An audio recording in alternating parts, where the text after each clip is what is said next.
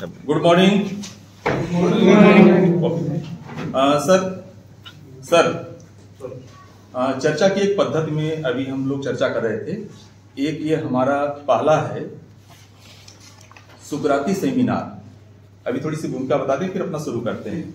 सुकरात Athens के एक यूनानी दार्शनिक हैं और वो तर्कपूर्ण संवाद के माध्यम से समाज में सामाजिक मूल्यों की स्थापना करने का उनका मुख्य विचार रहता था। एक नैतिक मूल्य की स्थापना करना।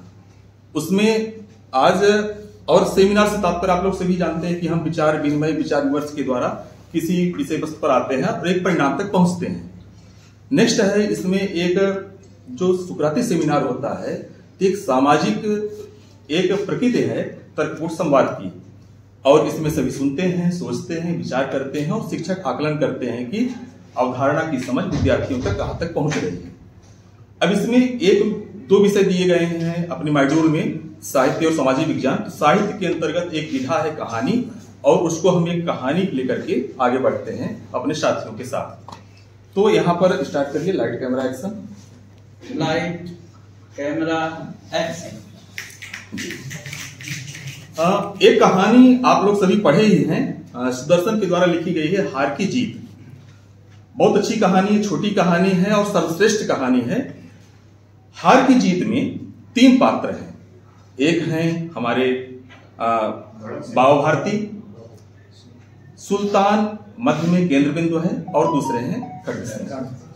बाव भारती एक महात्मा थे तो महात्मा का जो कार्य होता है जो प्रकृति होती है तो क्या रहती है? कैसी रहती है महात्मा की प्रवृत्ति?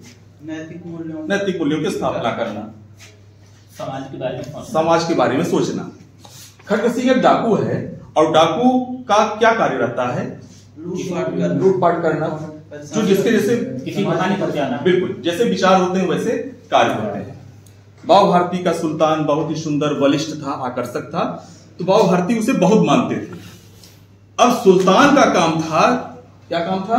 लूटपाट लूटपाट करना। सुल्तान की चाह खड्ग सिंह को वहाँ तक खींच लाती है। सुल्तान पहुँचता खड्ग सिंह वहाँ तक पहुँचता है। वह सोचता है कि मैं इसको कैसे चुरा लूँ, कैसे इसे छीन लूँ, बाव भारती से।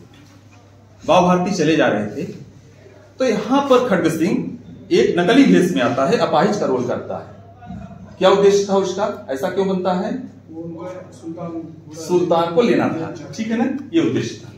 बाव भारती देखते हैं, अपाहिज को तो उनके मन में क्या आता है? मदद करना। जैसे उनके विचार थे, वैसे उनके कार्य थे।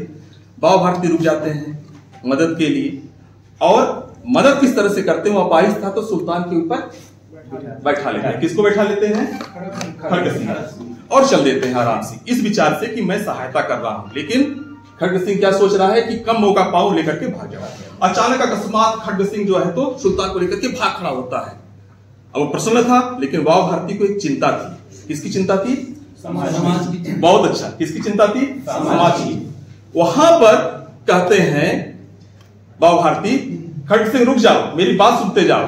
और वो बात यहाँ पर थी जो हृदय परिवर्तन करती है खड्ग सिंह की और वहाँ पर सामाजिक मूल्य की स्थापना होती है इस बात को किसी दूसरे से मत कहना नहीं तो लोग समाज में दूसरे का विश्वास तोड़ देंगे दूसरे की अपाहिजों की मदद मदद करना बंद कर देंगे। Okay thank you.